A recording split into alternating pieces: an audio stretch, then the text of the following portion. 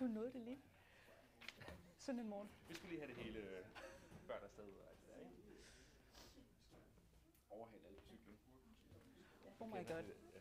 Nej, nej, sådan du kunne jeg aldrig finde på at gøre. Jeg cykler i princippet ikke. Nå, smart. Jeg går. Det er så dejligt. Det er sådan virkelig chill. Og tænker, og Ja, præcis. tænker flot. Og sådan noget. Præcis. Øh,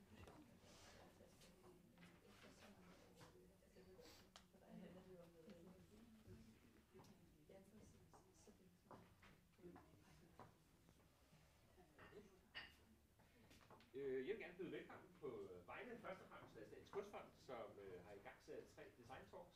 Og vi er ekstremt glade for at få lov til at placere det her i deres designcenter. Så tak for det, Christian og hele holdet.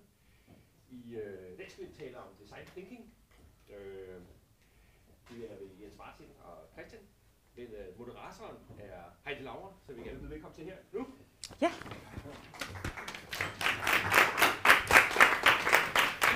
Godmorgen, velkommen. Øh, på kinesisk skulle det angiveligt være en forbandelse, hvis man ønsker folk, gid du må leve i interessante tider. Fordi interessant er også uroligt, forvirrende, nyudvikling, alt det, der sker. Og vi lever faktisk i interessante tider. Og også i tider, som bliver utvivlsomt krævende og overvældende og mærkelige, fordi vi står foran en gigantisk omstilling af hele måden, vi producerer på, måden vi forbruger på, måden vi indretter os på i vores byer, i vores boliger og alle mulige andre steder. Øhm, det stiller en masse nye, interessante opgaver til designfaget, som kommer til at være med til at svare på alle de kriser, der står foran os nu. Klimakrise, øh, biodiversitetskriser, truende ressourcekriser, der er ikke det, der ikke er. Øh, men designfaget er ikke alene om de her ting. Designfaget læner sig mod naturvidenskaben, læner sig mod arkitekturen, læner sig mod kunsten også, og finder nye samarbejdspartnere. Og det er det, der har været tema, det er det, der er temaet for de her morgentalks. I går snakkede vi om kunst og design, og hvordan de to ting finder hinanden og tænker nyt. I dag, der hopper vi ligesom lidt et niveau op og taler om design thinking, altså om ikke bare at formgive genstande til vores, til vores eget brug, men om at bruge selve designfagets grundtanke om at skabe forandring og forbedring i den måde, vi indretter os i verden på. Og for ligesom at forankre det lidt, så kommer vi særligt til at tale om trafik og transport i dag, som jo bliver et gigantisk udviklingsområde. Vi skal finde helt nye måder at organisere os, netop så igen som svar på klimakrise, som svar på voksne byer, alt det, der sker i verden lige nu. Og det er derfor, at vi har disse. Vi har Jens Martin Skibsted, og vi har øh, Christian Basen på besøg i dag. Og det kommer til at foregå sådan her, at først introducerer, jeg Jens Martin, som holder et oplæg. Så introducerer jeg Christian Basen, og til sidst så sætter vi os og snakker alle tre videre ud fra det, vi nu har fået lagt frem på bordet. Jens Martin er i dag partner i firmaet ManyOne, øh, som fusionerer strategi og design. Øh, og det er det seneste i rækken af adskillige firmaer, du har været involveret i på international plan øh, de seneste år. øhm, og du har faktisk haft et, et særligt fokus på mobilitet, transport øh, igennem ret mange år, vil jeg forestille mig efterhånden. 20. Det var en hel del. Øh, og du har også du er også en af forfatterne bag øh, World Economic Forums øh, rapport tidligere, Guidelines for City Mobility blandt andet. Og nu får vi lov at høre en masse mere. Altså, kan det ikke være på engelsk? Fordi at, at der står morning talks om design, og der er sådan en fra Tyskland, og sådan Åh. oh. Det er vi rigtig Og, og, og flere, altså det, det er sådan Ja. lidt mærkeligt for mig, at sidde her og vide, at der er nogen, som der overhovedet ikke kan forstå, hvad I siger, og det hele står på engelsk. Også i alle papirerne. Så det er bare lige en lille kommentar. Ja. Øh, Det er, det er fordi, at, at faktisk var det helt oprindeligt tænkt med en række internationale gæster i maj. Og siden er det rykket hertil. Men jeg, er helt, jeg, jeg forstår udmærket, hvad du siger. Det er vi rigtig kede af. Yeah, I, I, can try and switch to English because most Danes uh, Uh, do understand. And maybe just, we, we have been as confused as you have. Uh, in fact, in the app, it says in English that this is in Danish. Uh, so we yesterday switched from English to Danish on LinkedIn, for example. But I mean, for my I'm totally happy Yeah, to let's do it just go ahead and do it. Yeah. Okay, so um, yeah, Thanks. Sorry. I'm, worries. I'm, I'm, I'm not going to go deep into the whole um, theoretical part of uh, design thinking um, because I know Christian Bason will cover uh, a lot of that. However, I will try and set the scene. Um, I've, I've called design doing uh, as a uh, uh, thing that um, kind of is a direction that part of design thinking is taking. There's another one that's uh, getting a little bit more esoteric. So design thinking is not as such about thinking, but a process. So there's also kind of a um, design philosophy direction that I'm not going to cover today, and probably Christian Bason is not going to cover it, um, it, uh, it either.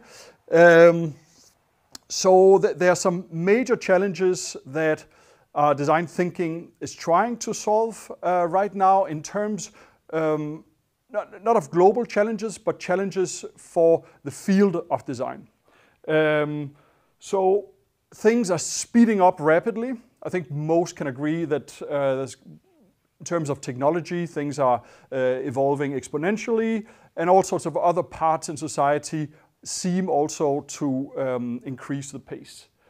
Um, which means that this goal of trying to have simple solutions to complex problems gets very hard. So probably we need complex solutions to complex problems. So that, that's one shift. And, and obviously the, there's the, the, the macro one um, about the world. Uh, you know, we, we have some global challenges, some, some mega trends that don't necessarily go uh, in, in the right direction. Um, this also means that design becomes way more uh, contextual. So just to reiterate, uh, I'm now part of, of ManyOne. And um, so this is actually my uh, first speech as a uh, ManyOne guy. So this is a world premiere. Uh, and uh, it also means that I have way, way, way too many slides because I have no clue how this is going to go. Uh, so, so feel free and, and stop me and ask questions. Uh, you probably won't be uh, able to read half of the stuff that's up here.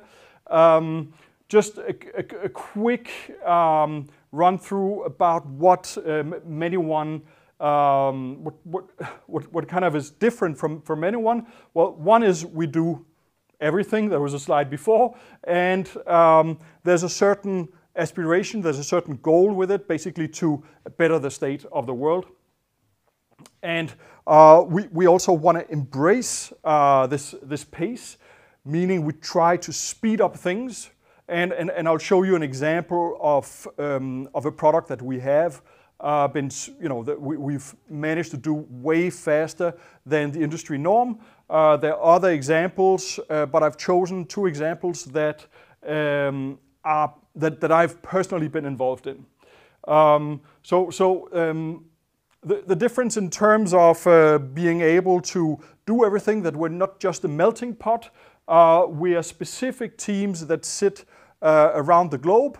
Um, my specific specialty is mobility, and we are going to look into mobility. So these are the two um, kind of examples I'm going to have. I might not dwell on the last one uh, because it's not specifically mobility related, but it's kind of cool because it's initiated by Prince Charles. Um, and this one uh, is odd because it's a thing that's been done um, to a client that uses a brand name that I started. Um, so this is uh, the, um, the, the, the specific Biomega car example. And so uh, what uh, we'll try to address, I might not pinpoint it, uh, but this is the increased speed. Uh, so this specific project was done in, um, you know, roughly, um, it, it took 15 months from actually having nothing to a fully functional um, prototype. Um, and um, yeah, and, and then it's also an example of this kind of complexity that we're in. That, that we can't, you can't make a car anymore that's siloed. That's just um, uh, kind of left on its own, just dealing with the car industry. You g- you got to deal uh, with uh, society. Uh, yeah. Anyway, this is what I explained before. That there are many um, specific um, teams. Um, there's a need for radical thinking. You, you might have heard this uh, quite a few times, but, but basically these, uh, this increased speed makes some of the methodology that you have in design, design thinking obsolete or, or, at least very challenged. Um, and this is basically uh, the, the, stages of, of the car. And it is um, about uh, uh, the, an industry in flux because it's challenged by all of these uh, exterior um, changes. Um, so the, the, the, whole mobility landscape is, um, is going to change. So I think that that's one of the, uh, the, the, the, founding uh, presumptions of having this uh, talk today. Um, and so, so there's a part of it that's regulatory, um, and th there's a part that comes uh, from the industry itself, how it's challenged in terms um, of making money. So um, today the, the, there's quite a bit of, uh, of money being made uh, on, um, uh, on, on, added um, gizmos. So that could be, uh, I don't know, a windshield, nice pair of, uh, of wheels. And there's obviously selling the cars themselves. And this is kind of, um, th this, th this is kind of shifting. So uh, the um, add-on businesses uh, are becoming more important than uh, the car itself. Um, and this is becoming more and more intelligent. So, so basically the, the, the, the, top of the pyramid now will more be how does the car integrate with society? What kind of um, services can you buy? You have uh, Tesla already trying some of this stuff, although it's still very uh, in, a, in a car silo. Um, it, it could easily add apps uh, on their platform uh, to accommodate this. So, so, so, so these are some um, kind of typical uh, ways of, of, of seeing um, transport. So you have the public transport um, or, or, mass transit that tends to be public. You have um, ride hailing, which is kind of a new thing. This is, uh, you know, uh, Uber type things. You have sharing, you have the sharing scooters, you have the, the sharing bikes. Uh, you have renting, obviously these kind of fleets are, uh, are normal. Leasing is increasing.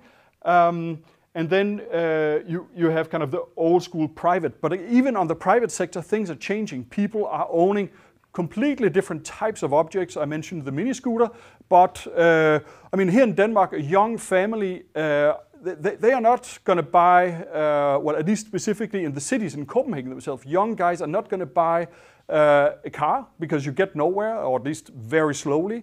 Uh, and, and in a very dirty way. Uh, so they, they're going to buy a cargo bike that's electric. It's one example of kind of new typologies arising. Um, so, so, so that's really a movement within mobility that the objects we know today are not going to be the same as we'll know in the future. You know, even talking about bikes versus cars in the future might be completely obsolete. Uh, we'll, we'll, we'll, have a hybrid. You know, we, we might have three wheels uh, cargo bikes that are recumbent with fairings, whatnot, intelligent. Um, so, so we, try to deal with that. We've tried to deal with that as a business model. So obviously, design thinking is also designing a business.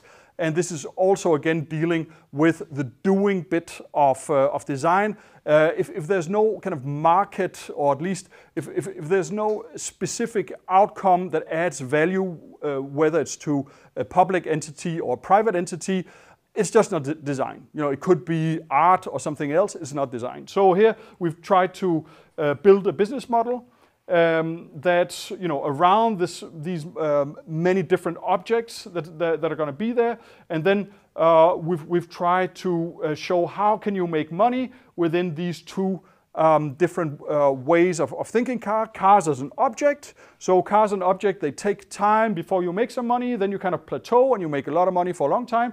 And then at some point, people want to see the new 105. I don't think they exist anymore, but uh, let's say uh, they want to see the new Golf or the, uh, you know, which, whichever, they want to see the new model and then uh, sales begin to slide. Whereas with these services, you can keep adding services that are no, uh, not necessarily linked to that specific object. And that, that curve, in the beginning, you make just about no money, and you also see all of these, um, uh, you know, stock, stock listed uh, IT companies in the US where you think, why would you stock list something that's making, not, not, not even making a dime, but just in terms of user, based on users, because then you can have this type of almost hockey stick growth. Uh, obviously, consumers are, are, changing. I'm not going to dwell on that.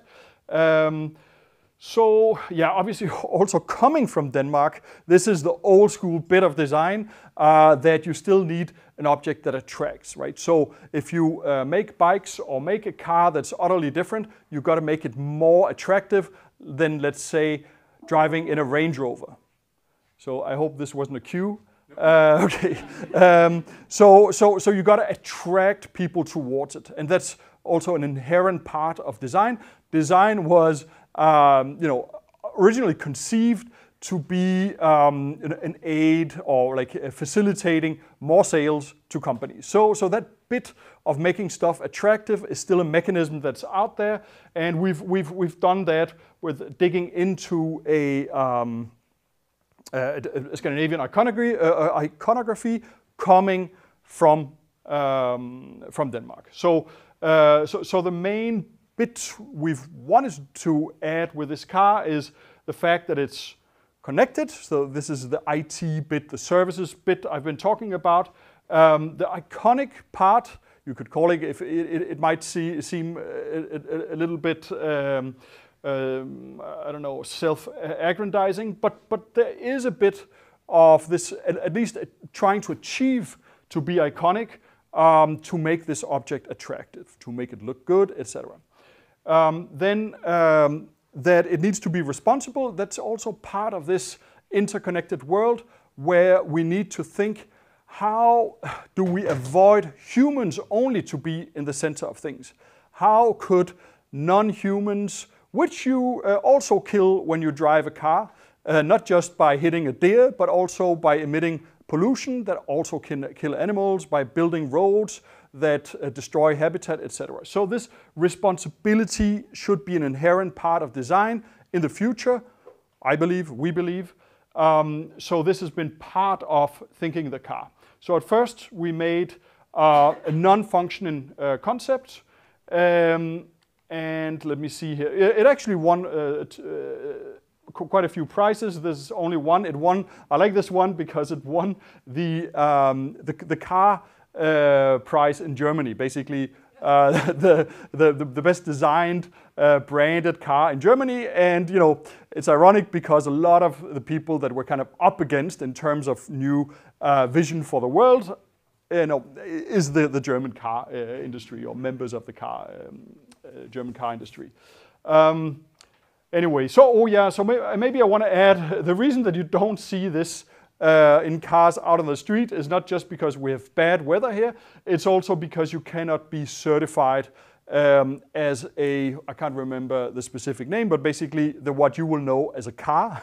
Uh, but you're certified as an L7, which is a smaller 80 kilometer type of object. You have very few of them uh, in Denmark, but uh, the Twizy would be an example of such. The Toyota iRoad is another example, but those are accepted, although they cannot withstand a car, um, a car hitting you from the side. So this is uh, how this concept car ended. It was built by some Germans as well, uh, uh, by the, guy, the guys that um, uh, built the, the prototype for the i3, the BMW i3. Uh, and they know what they're doing. This car is now in China. Um, and the second phase, this is the, the I mean, th this one is rendered. So what, that's one of the reasons it, it doesn't look as good. Um, but also this one could be certified as a car. Um, so, but, but again, it's built around not being a typical car. So in the sense that um, it's, it's way narrower than a normal car, so uh, it's easier. It's, it's not um, shorter, but it's narrower, which means you can e easier navigate. It's electric, so you don't pollute as much. Um, and it's built around what we call in Denmark soft pedestrians, so there will be, uh, sorry, um, uh, yeah, well, anyway, it's uh, pedestrians and uh, cyclists and all those who are easy to kill in traffic. Uh, so, uh, so you've got a, lot of visibility uh, e, um, that, that, that works even when you drive very slowly. So, for instance, we're the first uh, car company that, that has um, a fascia, that you, th- this is what you call the fascia, the, the, the front bit uh, of the car, that's transparent. So you can even see a duck. In, the, in Copenhagen, we stop when ducks cross the road. Um, yeah, anyway, there, there, there, there, there are some ways that we've tried to live up uh, to these goals. We've made it ultra simple, uh, both in terms of looks, but also, as you will see, the way the interior has been thought. Um, super uh, compact, though spacious. I'm going to get back to this. Uh, we have this kind of Scandinavian look um, and super easy to maintain. Uh, these are the specs. These are, uh, specs we would want to achieve. These are not necessarily how uh, it's going to get, but this is our aim. Might get better, might get worse. Um, and yeah, the, the, this is a general outlay.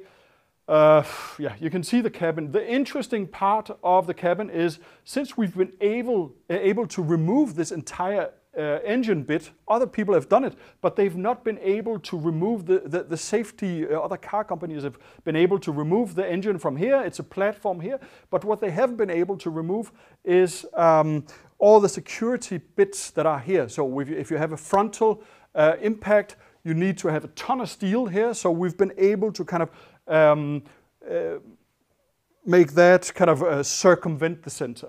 Uh, which means we have way, way more leg room than others-. Um, also, the length adds some leg rooms. So we had the leg room we have um, behind here is bigger than uh, the i3, for instance, which is all, uh, roughly the same size. But also, like a, a huge Audi or BMW does not have more leg room uh, in the back. Well, of course, an A8 stretch is going to have it, but actually, the A8 stretch for the front uh, passenger has way less room than this one. I mean, there's no limo on the world that has more leg room simply because there's nothing in front of you. Um, you could also use it for, for luggage space or whichever. These are some of the engineering bits, so it's been thoroughly, uh, thoroughly engineered with EDAG guys. Uh, there's been a team of 26 engineers uh, that have been um, extremely talented, but also very challenges for us uh, to work with because it's been more or less a, a, a trench uh, war, you know, where we've tried to every day, or not every day, but every week, uh, been able to say, well, if we did this, we can move this two centimeters further, etc., etc., until we achieve these things that I mentioned before. Uh, so this one um, is fully packaged, which, means we know exactly uh, where what goes. Uh, okay, so the in-car experience. I don't know how much time do I have left.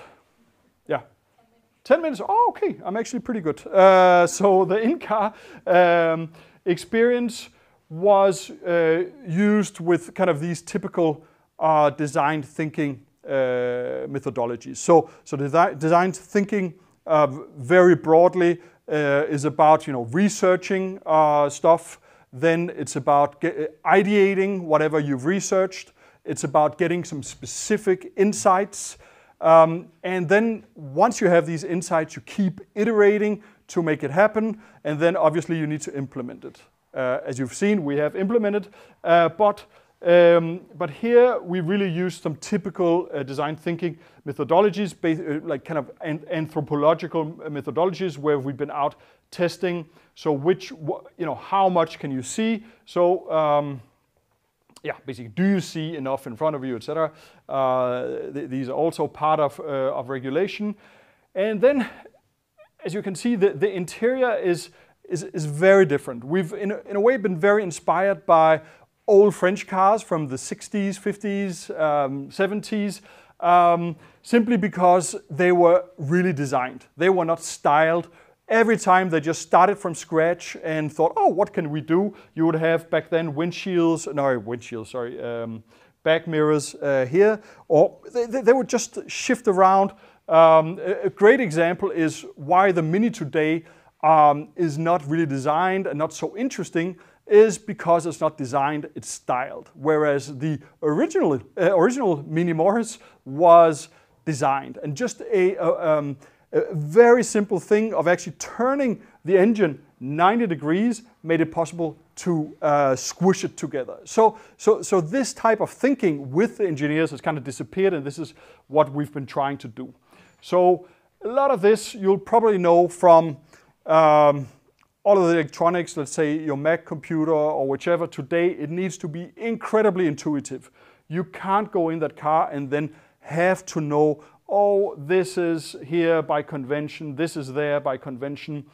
Um, yeah, so, so, so one of the things we've done is uh, not only to have um, kind of the, the, the, the, the back activated in terms of car, uh, sorry, in terms of camera, but also um, the, the, the, side view mirrors. Um, uh, and, you, and you actually have to have them out here also by, by regulation, but they're part of this one big screen that sits way, way in front. Because we've been able to remove everything, it's like almost um, at the windshield, which means when you move the eye, you, you almost don't need to move the eye to see stuff, which again adds safety. Um, yeah, there are all sorts of different um, scenario here. Um, the, these scenarios are uh, activated by some kind of uh, touchpad down here, but you can also actually uh, activate uh, directly. Uh, sorry, this is the, the, the, touchpad, this is the screen. You can um, recognize, you know, you can write by handwriting. Um, so it's not meant for you to look down there. It unless you don't really know what you're doing, uh, you, you, should intuitively be able to navigate the whole system just by having this kind of touchpad uh, pad down here. So these are some of the same values I've already mentioned, so I'm not going to go through them um, again. There's one thing I would love to show. Uh, maybe I have it uh, later. But, but this is all sorts of typical scenarios you would have in a car. Um, Obviously, we've also uh, had to design the interior. Again, there's some uh, old school uh, things like in all American cars, you would have a strap here instead of a handle. So there are all sorts of these things. Um, you might be able to, nah, you, you can't really see how, uh, how much space there is down there. But this is actually free floating. So there's air here. The picture doesn't really serve it well. Um, yeah, it's a car. and this is uh, how it looks uh, from, uh, from the top. And, um, and actually the, the airflow down here, there's some, uh, there's some work in, in that that um, I'm not going to cover here. Um, yeah, so, so then there's all this interconnectedness um, that uh, you can choose whoever should be able to drive that car. So you can also rent it out in terms of peer-to-peer. It's like most things today on any digital platform that's uh, kind of habituary. Uh, so today you're not going to ask, can uh, you actually see my website uh, on my Android or uh, iPhone, whichever? You simply cannot imagine a website that cannot do that. You know, in the, in, in the same way, you should not be able to imagine a screen on a car that doesn't do the same. It should be multi-platform to properly share it, to properly uh, be informed, about services, about wherever you're going. This one is the one I wanted to go uh, back to, uh, karaoke. Uh, basically, uh, one of the designers was uh, freestyling, but I kind of like that because everybody is uh, singing in cars. Well, at least I do, and everyone in Hollywood movies do. Um, yeah, so there's um, all sorts of tourism, um, all sorts of serv services. This one is about tourism. You know, how, how do I get around in this specific city? And there's the whole business part of it. Uh, so um, I'm, I'm, not going to go too much into it, but um, the, the, the big difference here is the way that the car is, is shared is not kind of a centralized system or even a, a distributed system um, that's um, you know, um, that's, that's managed by one company that goes out to everybody. This is a service, a license you would give to specific people that then rent it out. So uh, these would be examples. Uh, hotels, they rent out uh, bikes today. They do not rent out these cars.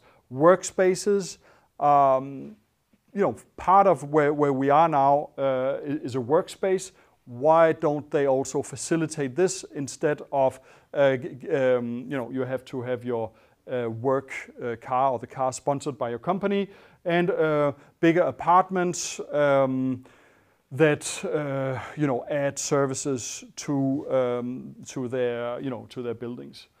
And, you know, so these are some examples of how that could look.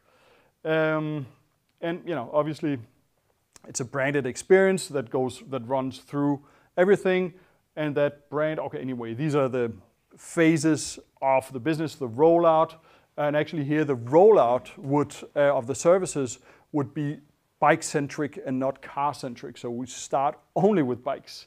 Oh, uh, and um, yeah, this is a typical campaign. Obviously, that's also uh, graphic design, uh, branding. Um, parts of marketing are also classical parts of uh, uh, of the design field, right? So, so we also do that part. Um, yeah. So I, I don't know how much time do I have left. I have two minutes left. So um, I'm not really going to go through this example because basically it's, it's too much to go through. But this is an, uh, another example. And it, again, it's based on this change of behavior, change of world. How do we um, uh, do that? And this one is not on a micro level. So of course, uh, having a car in an ecosystem might seem a bigger thing in terms of being part of urban mobility in general. How does it interlink with a scooter? How does it interlink with a car? A uh, sorry, a uh, train, a bus, etc. Uh, you know, how does it become multimodal? But there's also on, on the greatest uh, level of all, how do we turn business into being sustainable? And um, and so, so, so the backdrop of that is obviously that people's behavior is changing. And one of, and, and this is one of the parts we need to uh, kind of cater to when we accept uh, the, the, the complexity. People are starting, not only designers to have to build in complexity or be part of that complexity, but people are also uh, starting to accept that there's a pa- paradigm that's not just about convenience, right? If you take classical design thinking, is about adding convenience to people. But people today will uh, actually accept to um, have a bit of hardship to, for instance, um, uh, solving uh, global warming. Uh, so I have a lot of friends that have gone on vegetarian diets, a lot of friends that have shifted away from driving cars or, or taking planes to wherever they go. Of course, there are trans, some transcontinental challenges, but within Europe, uh, they will travel within their own continent. They're going to travel around by train. These are some of the, the guys, and this is uh, the, the uh, initiative we're working on right now, uh, which is um, a project that we're doing uh, for Prince Charles that he's working on with uh, the World Economic Forum, but it's initiated by his foundation, um, and this is really what he's uh, dedicated to. So, as, as I said, I'm not uh, going to go through this. It's, you know, if you want to change the, all markets in the world, the complexity for sure is not going to go down. So uh, wrapping up all of um, the markets uh, globally today is not going to happen. Um, I might just want to add that what I and our team specifically are working at is the digital strategy and a whole certification part of it. How we certify products as being green. And one of the instruments we're using that is fundamentally different than the other people he's worked with is that we try and merge two cultures. Right now, in terms of innovation, you tend to have this disruptive uh, kind of school and culture that comes originally from the Bay Area and still very much is centered around that geographic zone. And you have this kind of more economic, um, um, rational, uh, kind of adding specs approach. How do we change things incrementally, accepting uh, this is where we are? And um, we cannot do uh, uh without both of them. So uh, what we really want to do is see how can then they not, um, they don't need to merge because that's, that's probably utopian, but at least they need to use the same metrics, right? They talk in different languages, they talk in different, with different cultures, and they don't compare apple and pears. Or they do compare apple and pears, and they need to compare apples and apples or pears and pears. So this is one of the ways uh, we want to help him with these specific things. So yeah, anyone in anyone, there was a company doing it, not me personally. So with that, uh, I'm going to say thank you uh, for your time. Thank you. I'll just continue speaking English then. And I'm very happy to introduce Christian Bason. Actually, this is his home turf. He's the Yes. director of the Danish Design Center and is involved in so many different kinds of design and design initiatives, also including fashion and many other things. But you'll be talking about design thinking. Yes. Good morning, everyone, and welcome to the Danish Design Center. How many of you have been here before?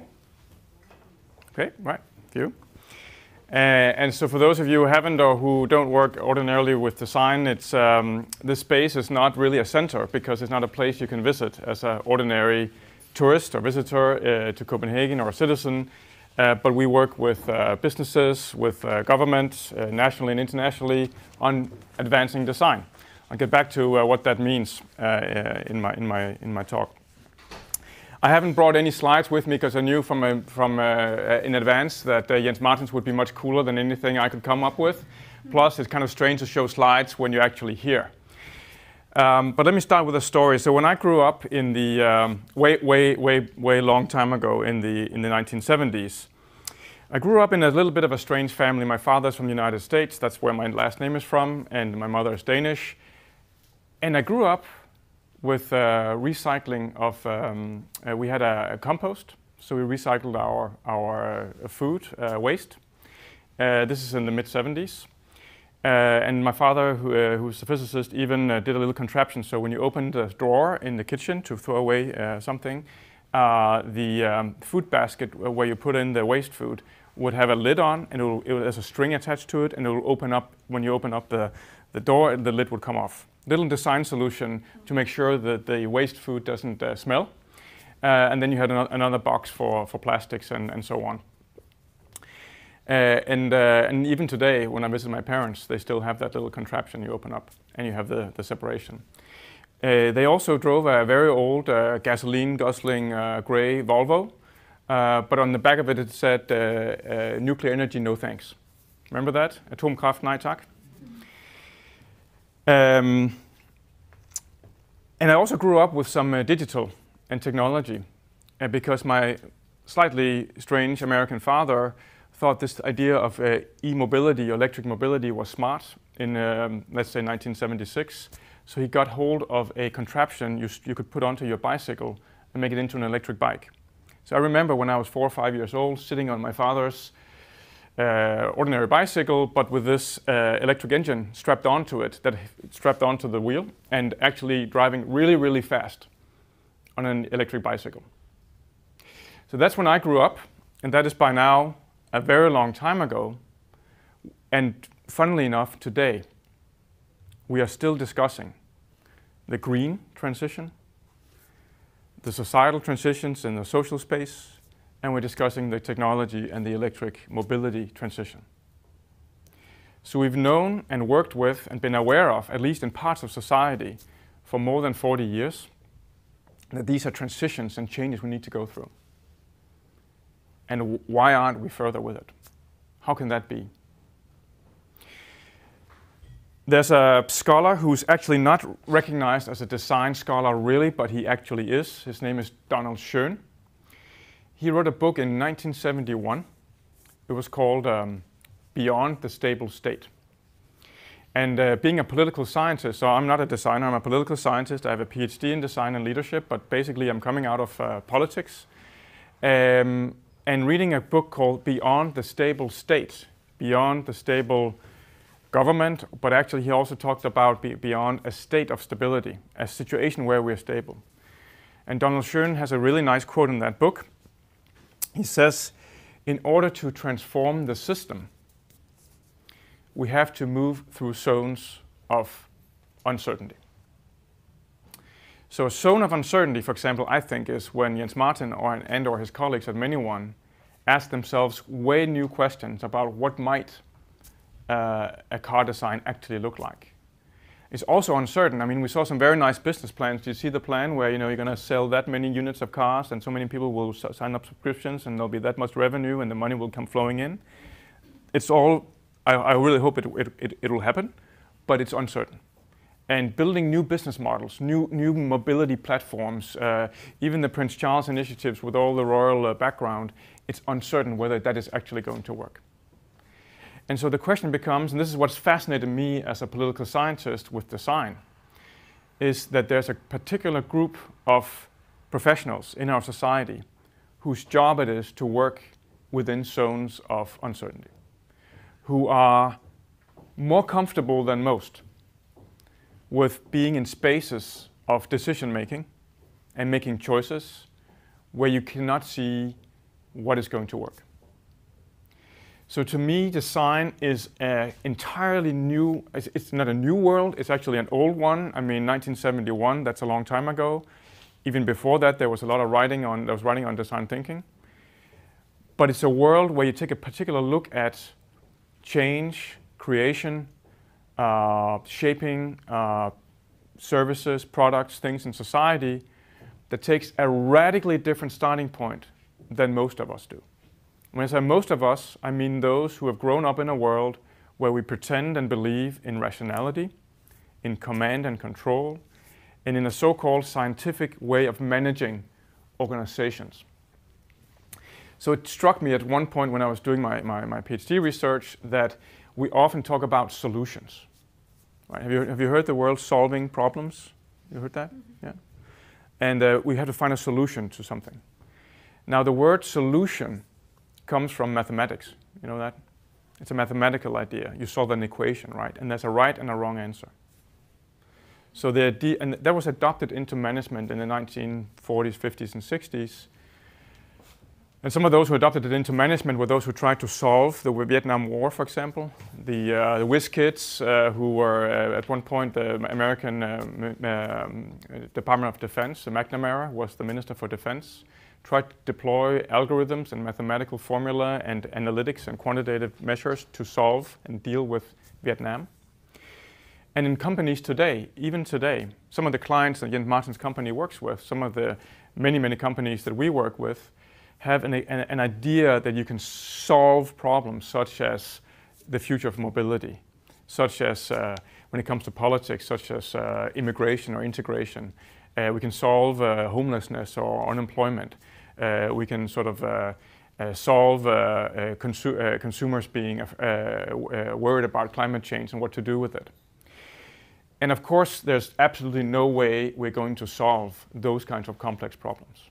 As Jens Martin said, for a complex problem, you probably need a kind of complex so- solution. Or what you might need is to have a humility and, and respect that you can make a, a, a, difference to the problem, but you're never going to solve it. So that's the, la- the language of management historically and, and the world we live in, in our workplaces, in our organizations, and the way in which most professions ad- address challenges is by thinking we can, we can solve it rationally.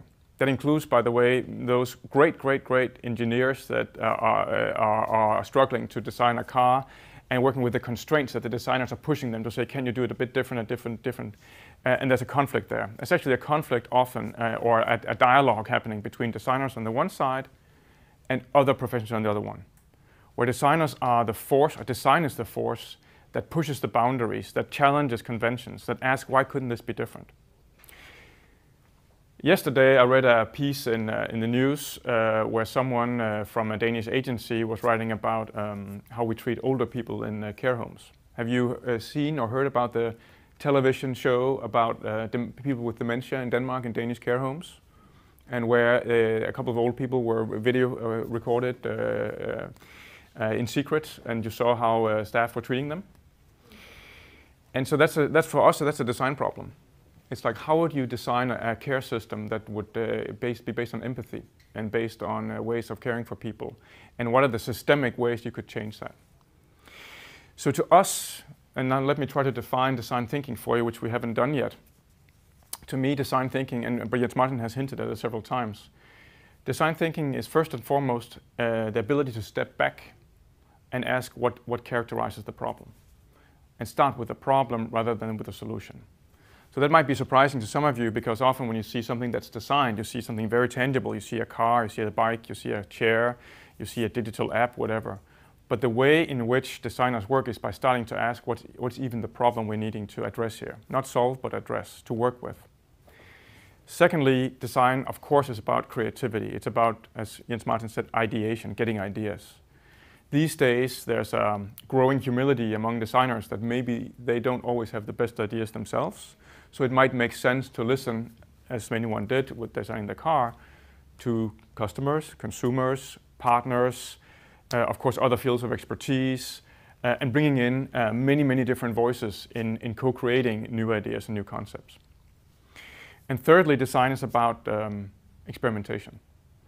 It's about understanding that if we're going to change things in the world, we have to not believe we can think things through in advance, but actually try out what could work and do different prototypes, different uh, trials, and different uh, uh, try out different avenues uh, and getting feedback and learning uh, before then arriving at a, at a better solution. Interestingly, the article yesterday about the dementia and the care in, in Denmark uh, one of the uh, recommendations from the, the, author from a Danish uh, uh agency for patient, patient safety was um, we have to build learning organizations. And interestingly, if you want to build a learning organization, you could actually learn from designers. Because designers' practice is based on rapid learning from what works or what does not work as they craft, as they build, as they test and try out different uh, solutions. So design thinking is, is just a way of trying to articulate what designers do when they do what they do. It's not new at all. The first book I came across with the title Design Thinking was from, uh, from 1987. Uh, the first book that really addressed how design can, uh, can work with these big complex problems is from 1969, a few years before the Stable State book. It's by um, uh, Her Herbert Simon, the Nobel Prize winner. The book is called uh, The Science of the Artificial because design is really about everything we make in the world. It's about how do we make, what do we put into the world. And I'll give you a case example in a moment, but basically, as you also saw illustrated, I think very nicely, design, you can design anything from a very concrete thing, artifact, to a service, to a system. So think about design spanning from what is the thing going to be doing to how we're going to digitally enable cars to be part of a rental system or, or, or, a mobility system, and how does that connect with data with other systems? So you work at these different scales, and this, this ability to work at different scales and say whatever is needed, we can build that, is I think essential in design. Now, design thinking has been a word I actually have been trying to avoid for many, many years uh, because it has tended to reduce design as a profession to process, as Jens Martin actually also mentioned. That means if you Google design thinking, you'll see all these step guides to first you do this, then you do that, then you do that. It's a methodology. If you just use the methodology, everything will be great. It'll both be creative, it'll look great, and uh, you'll create change. That's not the case. Design thinking is actually not about a methodology. It's about a way of looking at the world and of working with the world. It's just one way of articulating what, uh, what uh, design uh, can be. And Jens Martin and I are right now uh, working on a book that uh, seeks to sort of um, stretch or expand our perspective on that because we need to really understand the power of design in the different scale to address the challenges we have. So at the Danish Design Center, we do work with uh, the green transition. We work with the uh, digital transitions we need to make, including in digital ethics and how we design ethical, ethical digital products. And we work in many ways with the social uh, domain, so that means everything from uh, uh, social care to uh, healthcare and the future of health uh, to uh, education and learning. if you want to take a look at the bandwidth of design in Denmark, you just take a look at the Danish Design Award, which we run every year together with Design Denmark, the Industry Association for Design. And you can see an extremely broad bandwidth of what design can actually be, just looking at what the, the, the finalists and winners are for that award. I'm going to give a concrete example of how we work uh, here on, on mobility, which has been uh, the theme and the way we illustrate what design thinking can be today. So some time ago, um, a, a, local government, uh, a municipality reached out to us uh, from a, a, what you might call a slightly sort of uh, a, regional uh, part of Denmark that's not a city. So the municipality is Faaborg Midtfyn. Faaborg Midtfyn Kommune. And uh, even though by driving, uh, this uh, local government is maybe just a half an hour away from Odense, which is uh, one of the biggest cities in Denmark, uh, it's actually considered uh, rural and far away, and it's a place, like so many others, where people are moving away. Young people are leaving, families are leaving, uh, education institutions have a hard time keeping young people. Uh, there's a much more of an, of an aging society. Uh, there's no dynamism and it's just a trend that's just ongoing. And so that's a complex, difficult, big problem for that uh, area, for the politicians. It's a problem for business that can't thrive there. It's a problem for people living there. It's probably also a problem for our society as a whole to not have coherence and connectivity. And we have some regions that are becoming poorer and poorer, and others that are becoming richer and richer. And part of the challenge in that area is mobility. Not the only challenge, there are many, many others, but one of them is mobility. And, and uh, they reached out to us and said, could we redesign mobility?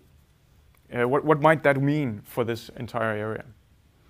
One of the things we did to explore the problem was actually to connect with uh, Jens Martin and his uh, colleagues at the World Economic Forum's uh, uh, group on, on, on, on cities, experts from all over the world who work on the future of cities. And we said to them, might you join us here in Copenhagen, right here in this building, to discuss not cities and the future of mobility in cities, but actually discuss the future of mobility in a rural area? Take, would you like to take on that challenge and help us with ideas? The idea of co-creating with some experts and getting insights. And they actually did that, and they all came here, and we worked in this very space uh, together with about 20 uh, experts from all over the world to give the local government new ideas. And we had the um, uh, head of the municipality standing right here and, and speaking to the group uh, and trying to do that in English, which was not so easy, but he, he did it. Uh, and they then got hard to work and coming up with ideas. It's also so that if you want to address a complex problem like how do we transform mobility in, a, in, a, in an area that's, uh, that's challenged, um, you have to get in uh, every actor that matters. It's citizens, it's local government's own internal workers and professionals, but it's certainly also business. And we asked ourselves here, because we work quite extensively with, with business. And as Jens Martin said, design has always been about business. It's always been about, at least historically, mostly about uh, achieving commercial success by designing uh, uh, powerful products and services and experience that people will want to buy. We said, well, is there also some business opportunities? If we can find companies that can help be part of the, the solution here, maybe they can both get business in, in uh, Faaborg but maybe also around the world. So just to give a couple of examples of what, what we came up with by running workshops with the citizens, workshop with staff, uh, trying to ask ourselves what are the ordinary lives of young people and older uh, people here in the area, um, and also getting in uh, the political level because are there also regulations and policies that need to be redesigned? Again, working from the very concrete to the very abstract. So let me take an example that's both extremely concrete but also very, very abstract uh, in redesign, which we've now proposed to the uh, local government. So one of the problems in mobility in the area is that if you take your bicycle in the morning and you need to bike, let's say, eight kilometers or 10 kilometers to your school or to your uh, youth education, what is it like, do you think, to get out in morning traffic on small, winding rural roads at 8 o'clock, 7.30 in the morning, where everybody is trying to get to work fast? Is that safe for kids to go out biking on those kinds of roads? actually so unsafe that nobody does it. And that means that kids are actually not biking, which means that there's a mobility problem. And then people have to get two cars, gasoline cars, or they have to wait for a bus that doesn't come, or they have to get more buses, and so on. So we asked ourselves, and this came out of the creative process, working on what's the problem here. What if every morning between, let's say, 7 in the morning and 9 a.m., some of the main rural roads that are not so much used otherwise are changed by law into bike paths, only for bicycles. So for a, a, limited period of time, you transform a road to a bicycle path. And so cars can't go. And cars will have to take a longer route, but they can, you know, you're just driving, that's fine. And then all the kids, all the young people can go on the bike lane. And again, at 2.30 or 3 o'clock when school's out, for another couple hours, again, you transform also legally the road to a place where you can bike. So the practical question, of course, is okay, how many kids will bike there? How do you tell them about it? How do you communicate it? Do you do a campaign? Do you do some nice graphics? Do you hand out flyers? Do you inform at the school? All the branding and, and, and just getting everybody to move there. But the other one is you have to get the legislation changed. That's a question of redesigning national law and allowing a local government to transform roads. And what's the procedure for that? Nobody knew. So we, of course, involved then the Transport Authority of Denmark in saying what would that redesign look like at the systems level? Because you need the system to change for, in order for the mobility to change. We developed a whole lot of other concepts, and actually we have a catalog. We just it's not even ready yet from the printer, but it's, we have a prototype ready with all kinds of concepts about, for example, uh, how can you take? Uh, could it be that local citizens who are older and who all own cars that are just sitting in the in the in the garage? Let's say they're 70 years old, 75, 80, still have a driver's license, never use their car. Could they either drive kids to school and a kind of, kind of carpooling and connect with the kids? Or could they uh, uh, uh, lease out or rent out or, or, or, just allow their car to be used by, by others? Now that's not very sustainable because that's still uh, uh, gasoline being used or diesel, but at least it's a, mobil- it's a, it's a, it's a solution to the mobility challenge. We also uh, discovered a, a, concept about creating local mobility hubs where you have a bus stop, but where you could also have pickup stops for uh, local residents to pick up anyone who's, who's, who's there waiting for transport. That's just examples. So let me conclude so we have time for the, uh, for the conversation to say that in a way, I'm, a, I'm like a, um, a recovering uh, analyst. Uh, I grew up in a, in a world in uh, political science and in management consulting where I thought that uh, just applying rational and analytical and data to problems, uh, we, could, we could solve them uh, to starting out on a journey about 15 years ago, discovering uh, how designers approach uh, change in a very, very different way. And it's as, as, if you, know, you can ask yourself, why has the Danish Design Center existed since 1978 with the mission to bring design to business and society? And I think part of it is that the forces that drag us into the usual way of doing things are too strong. The forces in the professions, whether it's nursing, it's uh, transport, it's engineering, it's management, uh, it's, uh, it's uh, law, economics, are so strong that each of those silos of knowledge, each of those domains will want to dominate and will come up with their own, in a way, self-serving solutions that will be good for their profession and good from their mindset, but not necessarily good for people or for the planet. And someone needs to come in. And when somebody needs to keep pushing for someone else to coming in to being the glue and the, and, and the dynamic force that brings everything together to make a, a positive change for someone else. A positive change from someone else. That is, you can call it citizens, you could call it uh, consumers, you could call it uh, nature, you could call it the planet, you could call it a positive change for life, but someone needs to take that perspective. And someone needs to bring in the skills, the thinking, the attitudes, and the methods. Of course, and the methods to make it happen. That's what designers do. That's what they've always been doing. And that's where we need many more designers to do on some of those big, big challenges we're facing. That's why I don't think we'll be, I think we'll still be relevant for a little while longer. And I really look forward to discussing your questions with us in a moment. Thanks for listening.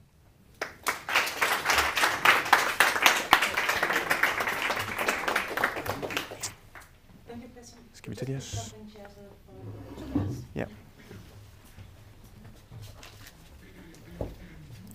de Ja.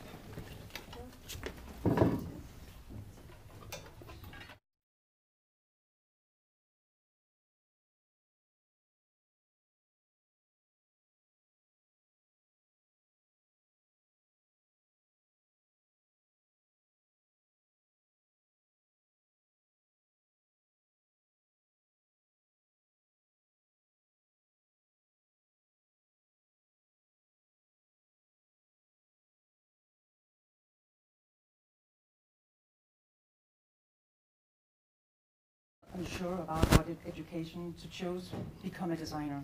Because Good. this is, there's going to be so much to do in this field in the future, which is very contrary to what people usually think about the design field. It's much more of this concept of designing nice things. But this was really interesting to kind of begin imagining how, how very differently we're going to work through all these different crises and create the change that we need. So let's try to kind of look into the future because now, now we know a little bit more about a new type of car that might help us designing new kinds of transportation. We have some idea about how to work with the basics, really. But what you were talking about sounded like what is possible to do right now. But wouldn't we have to kind of project further into the future, really think about what is transportation going to look like in 50 years and 100 years with new sources of energy and everything changing around us? I think that's a question for you, Jens Martin. How do we begin imagining a complete transformation? Yeah. uh, well, uh, actually, it's it's a thing we, we, we cover in our book. So just read it. No. Yeah. Coming soon. This is not the answer. No, no, no, no. Uh, well, uh, so so in a way, it's already happening. It's just not happening systematically. So, um, for instance, uh, sci-fi flicks, um, you would would see them as kind of you know entertaining stuff, um, just playing around with some ideas. But but but if you look at um, you know a lot of stuff has actually um, been implemented later. So it's an, it has, has a huge impact on designers and has had a huge impact on scientists actually to, to prove that some of these things are right. So in terms of mobility, but the flying type, uh, there's an, uh, what do you call it, ionic thruster, whatever, I can't remember, but, but, but basically with electricity, you change um, the, uh, the, uh, the electron charge from positive to negative constantly. And so you have this flying thing without any propeller, without any jet. So, so, so this comes from Star Trek, right? So there's a Star Trek idea there. Um, but there's also a part that's being done in terms of um, some regimes which, uh, you know, to democracies might not have all the answers. Uh, they, they um, you know, have, have much more consistency in terms of what they can do. So they can actually, um, if, they pass a law now, they can expect it to still be in place in 50 years if they choose to, uh, if they choose so. Um, in a democracy, uh, you'll probably have a secure lifetime of four years um, at best, right? So um, not at best, but anyway, it's it's not uncommon that the other government will will just rule against it. Um, so. Um, so, so, so the, these 50 years plans um, and uh, even 100 year plans already exist. So, uh, but, but, but it's a thing that um, I and I know Christian also really believe needs to be kind of um, appropriated by design um, because design inherently is about projecting stuff. You just need to project further ahead. And I also think one of the, you know, to me, design is what philosophy uh, was in ancient, ancient Greece. Um, back then, philosophy also, in a, in a way, was about implementing stuff, implementing stuff in democracies, even um, making very, very kind of specific objects. Um, but, uh, but, but today, uh, the field that owns this part of imagining possible worlds is, um, well, coupled with doing, is design. But could you disclose a little bit what kind of ideas are out there? What are we looking at? If when people really do this, projecting into the future, imagining different systems of, of transportation, not sci-fi, but Yeah, no. So, so the challenge with uh, mobility and specifically urban mobility that I'm, I'm very focused on um, is that it's you know as we talked about, uh, th- things kind of um, fit within a context. So they're extremely contextually uh, cont- contextual. So if you um, uh, there are very few words that, that describe a city is uh, this type of city. You tend to say it is like Copenhagen, for instance. So when, when you want to see uh, biking lanes all over, you talk about uh, Copenhagenizing, Copenhagenization, and um, so uh, so. But, but, but that's because these uh, solutions need to fit within that city. So um, a city uh, like uh, Bogota that has kind of a crater, that's true for Me- uh, Mexico City as well, that, that have this kind of crater. Theory could work for Paris as well. You know, you, you sit in this kind of um, hole, then uh, a, uh, what, what are they called? Uh, télécabine in French. Uh, ah, these kind of things that you see on on ski sports places. What are these called? Um, cable cars. Cable cars. Um, they work well in Hong Kong. That's extremely with extremely steep hills. You have hills. You have these uh, kind of uh, escalators. Uh, so it means it's very difficult to project anything general. Uh, but uh, one thing that all agree on is that it needs to be multimodal. There only there's probably only one type of, uh, of transport that we know we can't get around, and that's walking. Right? It's, it's, it's not, not going to work without walking. Um, so uh, the challenge in terms of projecting, um, and, I, and I think when I was there for uh, Faaborg municipality, it was a bit of the same. People want to hear either that you're going to continue doing what you do, you're just going to, uh, you know, incrementally change it. So it's going to be better and better and better, and you know, slowly change. The other one is this disruptive uh, thought. Oh, we're going to implement all of these crazy things. We're going to have, um, let's say, drones that transport people in cities, which actually physically makes no sense at all because um, you know, one is uh, they're not very secure, but also because they are, are, noisy and project air downwards. So it's like having an air dryer on top of, uh, of your head there's no way we can get around that also in terms of energy efficiency compared to a bike. That's the world's most efficient object ever created um, across any mammal. Uh, not that they create um, uh, gizmos, but, but we tend to think they're more efficient than we are. So, so, so there's no uh, real answer to that. Um, but uh, I, I think the main battle, the main battleground we have right now in many, many cities is uh, the battle between um, um, bikes and cars. Uh, the most efficient, the least efficient. Um, so, so cars are uh, inefficient in terms of, uh, you know, they're slower than bikes in traffic because you know you can't get around if there's a car in front of you. Uh, they, they also pollute way more. Um, even if you take an electric car, um, they will pollute more in the sense that you actually need to produce this energy somewhere, and they're roughly 20 times less efficient, 27 times less efficient uh, than a bike. This, of course, is an average number uh, and not true for any um, context than any car. So these kind of fight.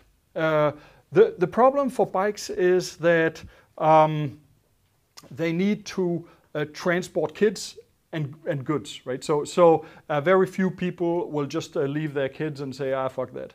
Uh, so you actually have to bring them along, um, and, um, and that today the, the car can facilitate. And the car has these other challenges that you go nowhere. Um, so what, what the cars are trying to do is basically get smaller to compete with the bikes. What the bikes are trying to do is not because it's itself interesting, but they're trying to get bigger, mm. so you can have um, uh, uh, kids in there, uh, possibly uh, many kids and even groceries. So, um, so these are kind of merging into a new type of vehicle mm. that we don't know yet, a, a new type of three-wheeler. And I guess we have to imagine a lot of added flexibility also that you can change from one, one thing to another easier. Kind of you can go from the train to your extra big bike to you then change to something else when you need to go, go, go a little further. I imagine this is that's happening now. That's, that's not the future. Now. This is what people are working on now. How do you seamlessly, that's also part of the work with the car, how do you seamlessly get in from that car to the bike, uh, to the bus, to the train? They all have different advantages. So yeah, th this is, uh, and, and, that's a service. Mm. Um, not that I think, you know, it, it needs to go that, um, it needs to be a service, but, but it probably will uh, to a large uh, extent. People also imagine these things becoming driverless. I still think there's room for private transport, but I also think there's still room for driver full uh, transport. Uh, there are certain things you actually want to have that control, this type of the, the, the, space that cars occupied with this freedom. You could just jump in the car and go anywhere. And, uh, you know, um, it was great. And James Dean uh, died doing it. You have this whole mythology, uh, uh, mythology around it. Um, that is now being uh, appropriated by bikes because end of the day you can go nowhere with these cars. You know, like how, how do you get anywhere if you're stuck in traffic, right? So so so this kind of freedom of movement is is, is still there, and it might might be the bikes kind of doing that. But you're right. Uh, things are going to fundamentally change also in terms of ownership and service and multimodality. But as you said, Christian, it, there is this feeling that things are changing very slowly. We have Yeah. been aware of the problem for a, a very long time. So, and you, and, we kind of felt also that, that there's this, this short political horizon, Hmm. which is certainly putting a stop to things. But what is really going on here? Well, so I think one is the timelines, as Jens Martin said. I mean, how do we speed them up? Uh, how do we get another pace? And you can say that um, there are different speeds out there, right? In a sense, you can say that politics uh, is quite slow moving, uh, regulation is slow moving, systems change is slow moving, especially when you look about what happens across borders, so globally. Uh, then you have um, uh, business. Business is somewhat faster moving. Some parts of business, like fashion and so on, is quite quick moving. But then you have design and innovation uh, work, which is very fast, can be extremely fast. I mean, you can imagine things in an afternoon if you want to. You can even render them and, and draw them and make up all kinds of uh, future directions if you want to. And the question is, how do you bring those different speeds or different, different paces together in a way that's even further looking, right? Uh, maybe I, I, I'm pretty much a big proponent of democracy, uh, but how do we Pretty make much. Uh, pretty much, mostly. Even though I, I've seen, you know, we, we- I've seen in uh, Dubai or in uh, Asia how, how quickly you can uh, both decide on things, but also how how long term you can think. Uh, but maybe we need to adopt some of those things, both the action and dy- dynamism of that, but also the long-term thinking. I mean, we could we could use a dose of that in our societies, bring that back in. I think that one of the things design brings to the space is to remember it's all about outcomes. Right. So an engineer would say we need to put contraptions into the city, technologies, right, and, and ask you know what technology is appropriate. Uh, and regulators would probably say what's the law that's needed. What about safety? It's always important to regulators and policymakers. What's what's safe, and they want to minimize risk, right? But a designer would say, what's the outcome? And an outcome here is that people can move as freely as possible, and, and with the lowest possible footprint on our planet as possible. And uh, what design can then bring in in that equation, by the way, I think is uh, actually um, uh, uh, uh, making it attractive, uh, enjoyment, um, and, and a, positive experience. I mean, we, we can't be James Dean in the old way anymore in, in our fast small cars, but maybe we can have an experience of being cool, of being free. I mean, when I see Copenhageners ride on some of the newest, what could be a Biomega, could be something else, like a really cool, well-crafted, beautifully designed, well-functioning, high-quality uh, e-bike or a uh, or uh, a cargo bike, uh, e-powered cargo bike. One of them, by the way, uh, won our uh, Danish Design Award this year. Uh, you know, that's maybe the new cool, right? That, that's a, you don't have you don't have to smoke uh, or, or drive a Porsche to be cool. Actually, it's even more cool, at least seen in, in the eyes of, of your fellow Copenhageners, to be driving one of those, right? So there's a shift in in, in, in awareness and in what what's what makes sense to you, what's meaningful to you, and what meaning you project. What is your identity? And the ability to work with meaning, with identity, with what's aesthetic or attractive, uh, joyful. That's the domain of designers. It's also actually the domain, if you stretch it all the way out, you discussed art yesterday. It's also the domain in a sense of art because it's what's the human experience? Uh, what are all the emotional sides of this? How can you play, play with that? How can you explore it, inquire into it? Designers make it practical. They, they, they turn it into concrete services or concrete products uh, that you can experience and engage with. And, and that's the power, right? So that's the power to shift our human behavior. Partly, I mean, some sacrifice will be have to made. Your friends will have to eat more vegan, maybe. Uh, but a lot of the power to change is about making the, the alternative more attractive, right? Making it more cool, more attractive to be in that e-bike than being in that uh, gasoline car, for instance. And, and, and then looking at how the outcome is that mobility, freedom to move with low footprint. I think that's, that's sort of the vision. And then designers can draw all kinds of renderings of possible futures, sci-fi or not, the power to make it tangible. It could be like this, it could be like that. One of the things we work with here at the Danish Design Center is exactly scenarios and foresight, uh, very long term. We've worked on 20, 2050 scenarios, both for actually mobility, for uh, health, for uh, work and education. And i- those futures we look at are uh, not certain in any way. Actually, they're alternative futures that might happen. So by opening up the future space and saying it could be this future, cities could be like this, You mentioned different cities around the world that might look quite differently. Well, if you have a picture of those different options or those different outcomes, then you can make more informed choices today. You can start making decisions already now. If you're a company, which we work quite a lot with, or if you're a policymaker, or even if you're a designer, say, asking yourself new questions. And so I agree that the future, uh, I mean, you should encourage people to become designers, but you should be encouraging people to become designers that know very, very deeply that being a designer is not about what you create. Because that creation can be anything from a policy to a chair to a car to a bicycle or to a digital service. Being a designer is the way in which you uh, work with problems hmm. and work with those opportunities that are in those problems. And you work with it from a human and maybe even more planetary perspective, where everyone else, every other profession, works from the inside out in projecting what they think is right. It feels like we should be very aware of this mental shift that is part of the whole transformation that is going to take on that is going to happen in these next uh, decades. That, that people, has to happen at least. People, it has to happen. That, that people have to kind of get to know these new processes, ways of moving everything. So this kind of experiment that you were doing in this rural area, uh, Sydfyn, this seems like an interesting model for how to go about this, kind of try something out and get people involved. Is, is this a way to move forward? It's one model. In I the think. political layer too, maybe. I think it's one model. I think it's. Um, uh, I mean, pol politics is conservative, right? Hmm. It's uh, worried about risk. Uh, I was running a workshop a year or two ago in, uh, in Canada, and somebody said about politics. It was a senior civil servant. He said, "My minister is okay with innovation. He just doesn't like to be surprised." And, and that shows how difficult it is, right? Because when we're talking about innovation, you say radical change and so on, it's actually about being surprised. Uh, so, so what's the answer to that? Well, part of the answer is to involve the politicians in the process. Because, you know, politicians and, and, and decision makers and big companies and so on actually, at a, at, a, at, a, at a theoretical level, want innovation. They want change. I mean, our government, for example, here in Denmark, they, they do want a 70% reduction of CO2 by uh, 2030. They just don't know how to do it. And they, they know they, they need innovation. The question is, when it comes to the risk, to the investments, to the changes in behavior, to what might be painful for citizens, which may not get them re-elected, it's a whole different story. So there's a friction between the dream, what you want and, and dream about, also as a, in, in corporations and business, and then the practice of the hard, hard work of design and innovation and change, and those clash. So our job as coming from the design field, I think, is to be even more inclusive of who can we involve, when and how in those processes.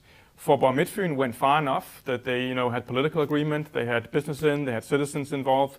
They even uh, dared work with the World Economic Forum, which is pretty crazy for a local government to work mm. with these high-flying experts, um, and try that out and have the courage to be in the room with them but they still are, you know, not necessarily implementing many of the solutions yet. I mean, that has to require investments, uh, maybe the legislative change, all those things. Citizens will have to do different things. Uh, the companies need to invest, maybe take part of the risk, so, so risk sharing between business and government. So all those things are really, really hard. And you can say, in a way, the easy part is the, the, the front end work of, of designers, because we don't have to live with all the changes. We can come in and, and, and help them develop it, and then good luck. You know, you go and just why don't you just do it? And it's not just doing it, right? There's so much at stake, so much at risk. And that's maybe one reason why uh, 1976 to, to, to today, uh, it feels like we're still having the same conversations. Hmm. And you must be living this every day, kind of this whole new kind of multiple conversations you need to have about the designs that you want to do, the things, that the ideas you want, want to fold out. That you need to get the political layer moving. You need to Our talk clients to involved I mean, at least, right? This yeah. is this yeah. must be what it is to be a designer today, actually.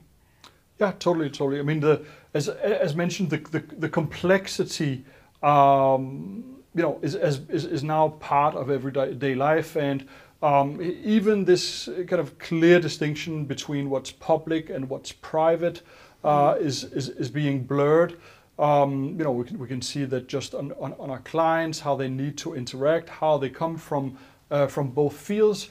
Um, and there's also kind of a, a geographic expansion. So um, this type of, uh, you know, right now, um, you know, the, the, the, the Black um, Lives Matter movement is huge. Um, and it, it does not necessarily uh, mean that designers should then um, join that movement, um, but it, it, they need to then uh, extract what's uh, positive about that movement. Um, I do believe it, it creates some value also independently, but um, so so this um, diversity bit is actually incredibly important for design and for innovation. Like it's uh, uh, all research to this point shows that uh, the more diversity there is, um, the more innovation Yeah. you actually create. And um, so, so, so this is true, obviously, on a, on a gender level. It's also true, kind of on a um, cultural, if you want to call it, ethnic uh, level, um, but also in terms of geographies. And uh, there's one example I'd like to uh, to mention of a complete different way of seeing um, uh, design, or, or rather the result of design. So um, in, in, in Europe, you tend to, on the Western world in general, you, you tend to uh, have a legal entity um, own that design. This or a legal entity could be a company, and then maybe even you have a designer that owns the IPR, the intellectual property, etc. Um, you have some examples where that's not true. We have kind of these pockets we would call uh, commons. Um, there's also now some micro level policy things, the sandcasting. So we tend to create small holes. But these two are very separate and we don't integrate them, which, which, which in a way is contrary to the movement we're, we're going um, into. But if you have a lot of, there's a lot of um, uh, nations and culture, cultures in Africa where uh, there's a complete different version, where um, uh, the IP is not uh, about a legal entity, it's not about a person, it's about a community. Um, and the community um, owns this, um, and it's passed on by the elders from generation to generation. And, and, and this new way of, um, I mean, I, I can only think of terroir, you know, like uh, where, where Gorgonzola or Champagne or whichever uh, exists. So in a way, it's not really owned by anyone, but it's owned by that domain. Um, so, so there are new ways of seeing uh, ownership of design, which again could really um, spark kind of this this um, uh, new stuff, uh, innovation also in terms of how uh, public and private um, play and, and that entire complexity. Christian, you wanted a brief remark? Yeah, but just um, because I mean, right now with the upheavals we're seeing in the world, including these these social movements, whether in climate change or in diversity, there's this call for, in a way, breaking down structures and rebuilding them or, or, or redesigning them. And, and, and the direction Jens Martin mentions could be, of course, one avenue for redesign. So. Uh, one example could be uh, the call in America for, for, for uh, redesigning police departments. There is a huge movement, right? Defund the police, take the money away. The question becomes, how do you then design safety uh, or, or community uh, that, that are yeah that are safe? Uh, is it by building a, a- just another color of police departments, different uniforms, and but the same people, or is it a whole new system, a whole new idea about what, what is it to be safe and secure and uh, and being a community and living together with each other? Uh, the, the direction right now in America, the design direction has been to just arm the police more bigger weapons, uh, more material, bigger cars, uh, tanks, whatever. Uh, question becomes, what, how could you step it back and reimagine what is not just policing but safety in a society? And so you can say that all these uh, disruptive movements that are happening right now, for good reason, are maybe opening up new spaces, new questions, and, and, and, and, and some of them are tearing down these structures. And that's where someone has to step in and contribute with a design attitude, with, a with design thinking, to, take, to contribute to that. Because I don't think that the police itself will know how to redesign itself. And I don't think the politicians in the councils around the US or elsewhere will know it either. And probably lawyers or economists won't either. But together, those actors in the system could do something if they were assisted by designers. Very good point. I think we should take a few questions before stopping today. If you have anything pressing, please. Um, I'm interested because you mentioned the, the different speeds of the different levels of society. Um, what because I'm, I'm not um, so close to the Danish educational system. If you if there's something like entrepreneurial or um, experimental um, mind, open mind awareness that is taught or taught so that uh, the system can change from the bottom up? Well, so I think in education we need much, much more uh, design and entrepreneurship. There are, you know, uh, modules, there are courses in primary school of some degree. There's a, a really strange one called craft and design, which is mostly about putting in nails in wood and uh, sewing something together, excuse me. It's just uh, really banal. Uh, you have uh, work on entrepreneurship for, for uh, higher education. You, of course, also have universities that specialize in that.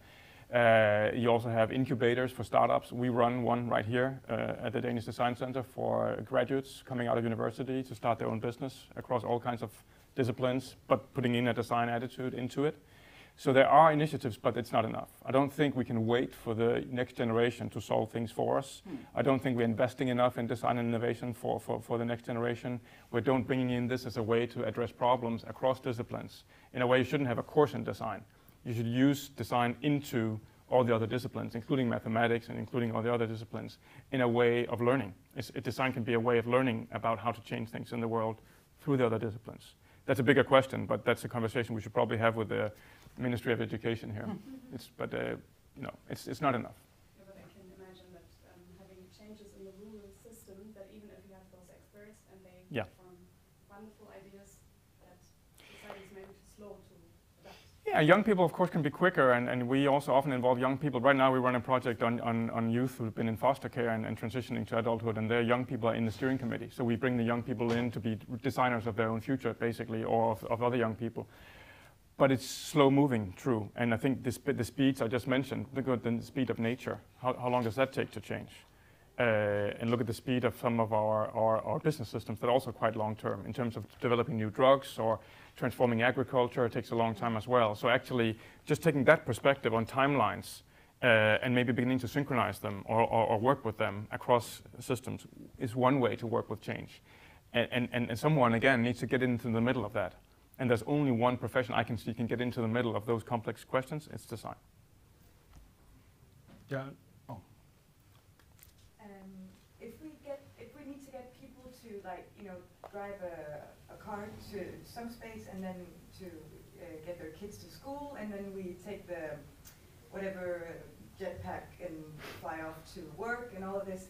How do we entice people that are not designers to think like a designer? You know, now we're also designing our work days and uh, working from home and working at office and all of this. We need to, in my opinion, we need to, uh, it sounds a little bit high-nosed or whatever you say, but we need to educate people to um, design their own days and their own lives with the things that they can use in order to have a sustainable life and also be able to have their kids in their cars or whatever.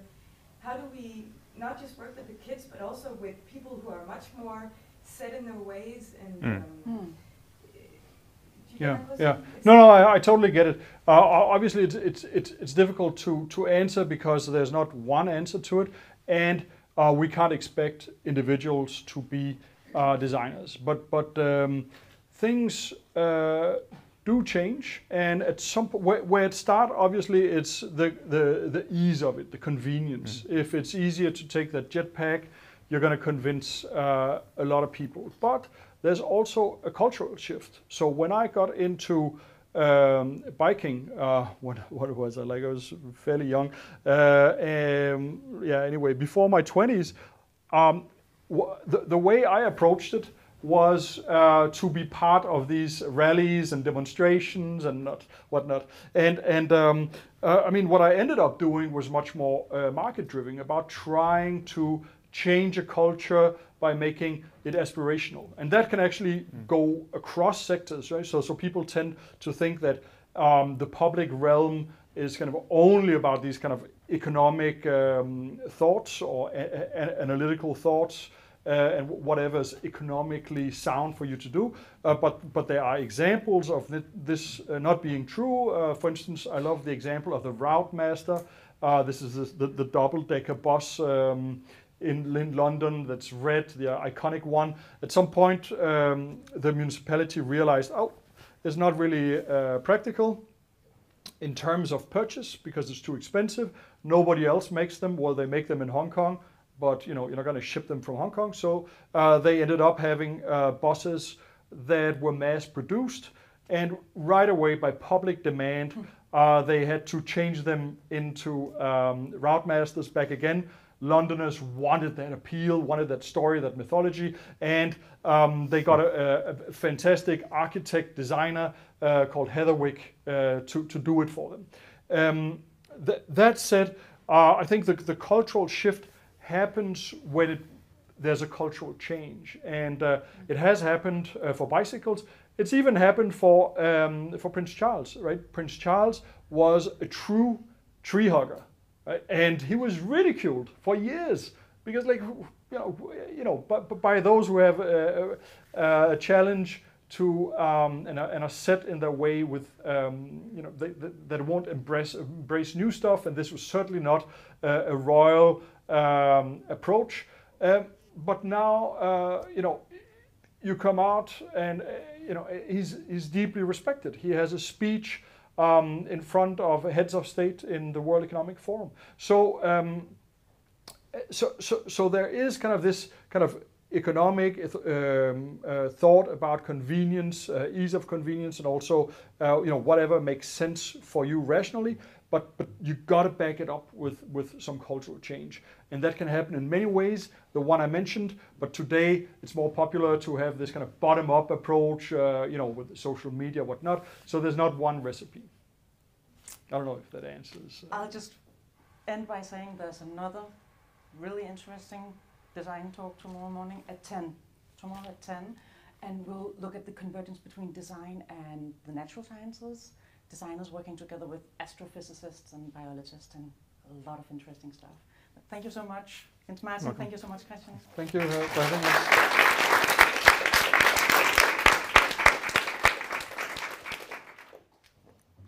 Jeg glæder mig til bogen. ja, det gør vi også.